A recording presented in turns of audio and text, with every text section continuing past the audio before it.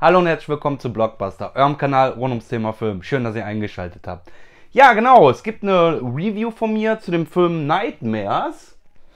Der ist mir von ja, Pierre Le Fou äh, ja, und Public äh, Insight OAG als Rezensionsexemplar zur Verfügung gestellt worden. Vielen, vielen Dank dafür. Mich wirklich gefreut. Ich war auch sehr gespannt auf den Film. Der war unter anderem irgendwie auch beim Fan, äh, äh Fantasy Filmfest und so, genau. Da hatte ich ein bisschen was von gehört und äh, ja, ich habe mir den auch so schnell wie möglich angeguckt, so ein bisschen was zur Story, ohne zu viel zu spoilern.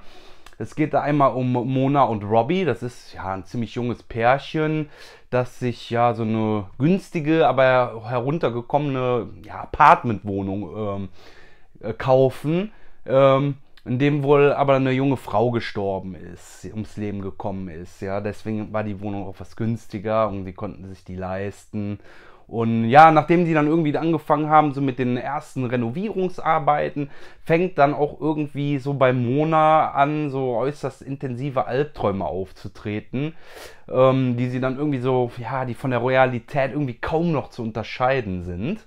Und ähm, das wird so krass, dass sie sich dann tatsächlich äh, ärztliche Hilfe sucht und dabei dann irgendwie eine Vermutung aufkommt, dass sie eventuell von einem Be äh, Dämon äh, besessen sein könnte. Ja, mehr würde ich auch gar nicht dazu sagen. Ähm, sonst wäre es zu viel Spoilerei, das möchte ich nicht. Das ist jetzt so, so ja, die, die Grundstory an sich halt. Und äh, meine Meinung dazu ähm, ich muss tatsächlich sagen, mir hat der Film sehr gut gefallen. Gerade diese, ja, so eine kühle skandinavische ähm, ja, Horrorgeschichte irgendwo. Die ist mir doch dann relativ äh, gut unter die Haut gegangen. Ähm, dabei waren irgendwie halt diese, ja, so eine verstörende Atmosphäre war dabei die dann irgendwie so was Beklemmendes in mir äh, ausgelöst hat. Ich habe das, wenn ich das vergleichen könnte, so ein bisschen bei äh, Nightwatch Nachtwache gehabt, obwohl da gar nichts mit dem Film zu, aber so von der Atmosphäre her war es so teilweise so dieses beklemmende Unwohlsein, was ich da irgendwie äh, ja gespürt habe. Ja, ich meine, das ist bei jedem anders. Also bei mir hat es das tatsächlich ausgelöst und das wirklich durch auf also wirklich die komplette äh, Laufzeit des Films über. Ja, und hat mich auch tatsächlich richtig gut gefesselt.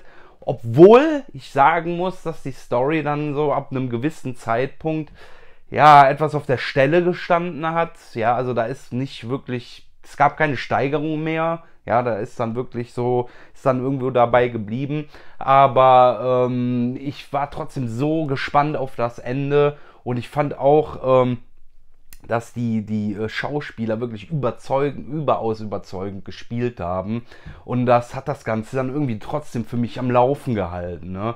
Und ich muss noch dazu sagen, das Ende war dann für mich dann auch nochmal so extrem schockierend äh, und hat mir wirklich noch so einen richtig faden Beigeschmack äh, hinterlassen. Ja, also ich fand den echt gut für die, die jetzt irgendwie so auf Schockmomente oder so warten oder darauf stehen. Äh, das bietet der Film nicht. Der ist wirklich so atmosphärisch und langsam erzählt und hat mich, ja, hat mich einfach gepackt irgendwo. Ja, ich habe dem Ganzen dann sieben von zehn Punkten gegeben und äh, ja, ich würde sagen, bevor wir jetzt weiterreden, äh, gucken wir uns doch einfach mal so ein bisschen auch das Booklet mal an. So, da haben wir hier die Mediabook-Edition.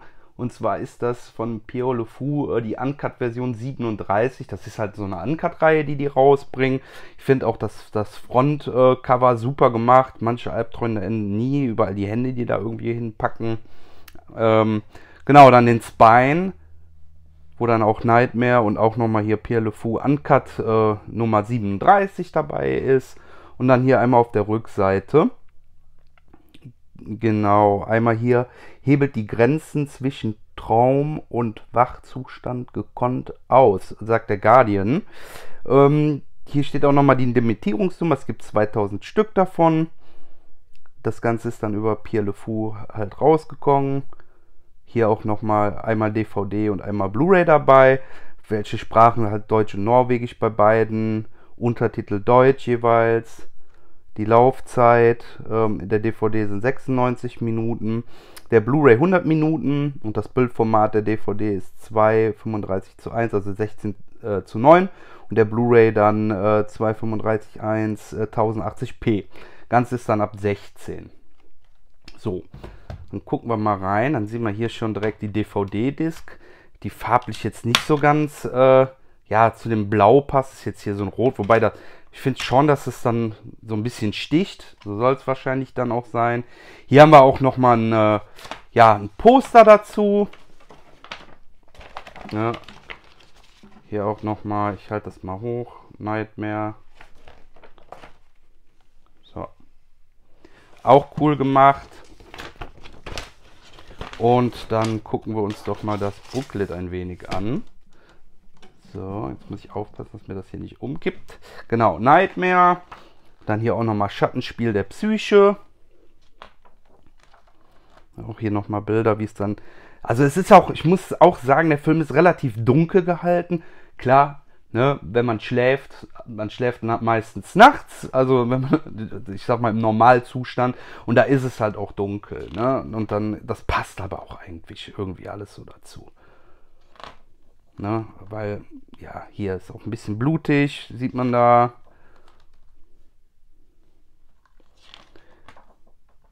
Genau, hier auch noch weitere Bilder. Also ich habe jetzt nicht alles gelesen, aber es geht halt auch viel um Träume und äh, auch teilweise um, ja, möchte ich jetzt nicht sagen, sonst spoiler ich eventuell zu viel. Ne, das Interview mit, dem Reg mit der Regisseurin.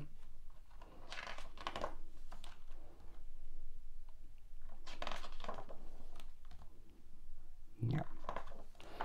Und dann, ja, nochmal hier hinten das irgendwie von Deadline, das Filmmagazin und die Blu-ray dann dazu.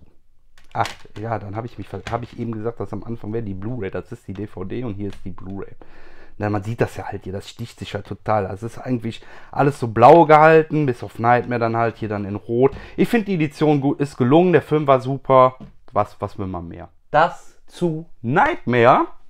Das Ganze kommt dann äh, ja, von Pierre äh, Le Fou am 27.06.2024 auf den Markt für alle die, die jetzt äh, hellhörig geworden sind. Ähm, ich habe bei mir in der Beschreibung auch nochmal die Links einmal zur Homepage von äh, Pierre Le Fou und auch einmal zur Facebook-Seite von äh, Pierre Le Fou. Da könnt ihr auch gerne nochmal gucken. Die haben auch Trailer, anderes Bildermaterial, andere Kurzinhalte.